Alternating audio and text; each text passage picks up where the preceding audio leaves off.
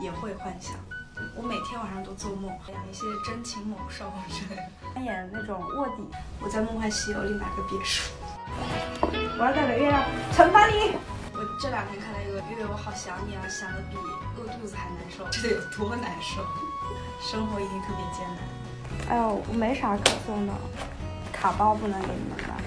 不然我给张钱，给钱合适吗？就只能给五块了，不能更多了。